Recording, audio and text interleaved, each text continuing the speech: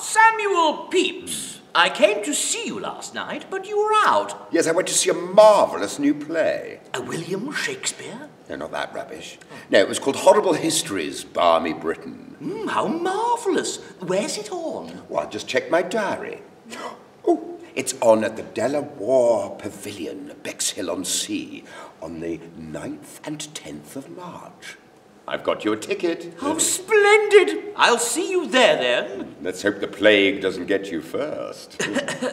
oh dear. oh, oh, ah!